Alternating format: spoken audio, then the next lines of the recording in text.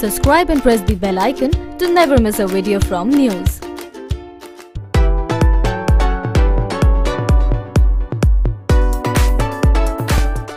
In a historic match between Afghanistan and India, the first test match of the war torn country, India are in a good position. Batting first, India in dominant position courtesy opening duo Murali Vijay and Shikhar Dhawan. The Gabbar of Indian cricket has been tremendous at the centre as he has reached his 7th ton in May 87 balls, smashing 19 boundaries and 3 sixes before getting out in Yamin's ball, while Murali Vijay has played a brilliant supporting role. He has 47 runs in 76 balls, hitting 7 fours and 1 6 so far. News Desk